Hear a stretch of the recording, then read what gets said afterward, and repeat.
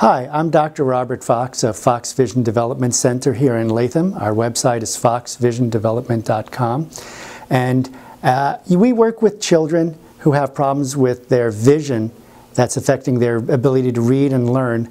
And it also affects their ability to perform in sports as well. So uh, people who've gone through our program uh, do better uh, job of keeping their eye on the ball. Uh, at the same time, they're getting better at reading and learning. One of our favorite techniques is something called the Marsden ball.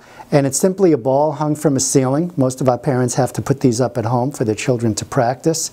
And it's wonderfully simple and wonderfully challenging as well. Sometimes we set the ball in motion and you may just have to follow it one eye at a time. You may have to follow it with your fingers.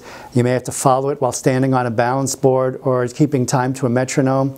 And the other thing we work at is also something called bunt ball, where we may have a child bunt to it, to it they may bunt while saying spelling words, spelling out words. They may bunt in different patterns.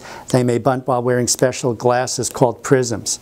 Either way, they're having fun while they're learning how to aim, focus, converge, and use their two eyes together. For more about vision and learning, go to us at foxvisiondevelopment.com. Thank you.